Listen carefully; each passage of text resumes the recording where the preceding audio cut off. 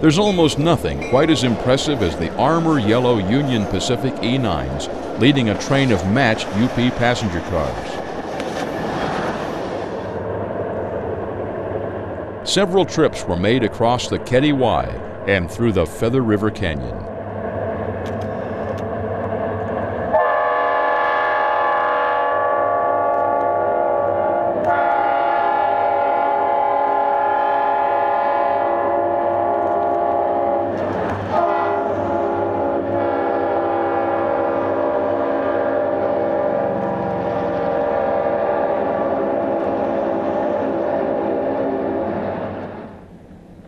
There's a lot of action captured on this special excursion weekend.